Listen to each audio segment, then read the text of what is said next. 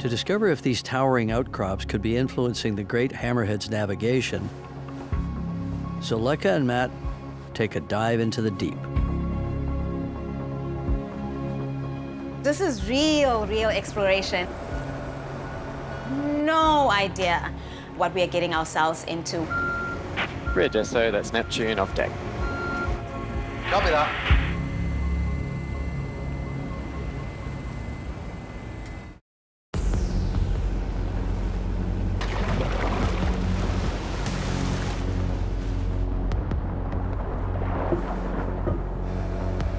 Uh, Roger, so, uh, so there's Neptune venting now.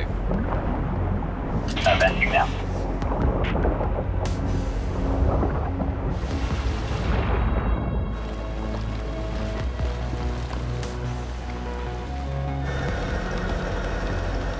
The sub-team will be accompanied by the remotely operated vehicle. Controlled from the surface, it sends up live pictures from the seafloor.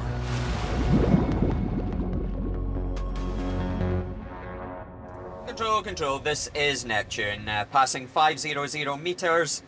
Descending just under keel, two, one meters. Over. Roger.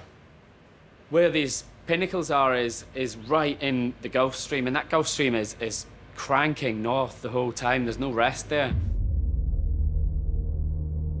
It's a strong colour.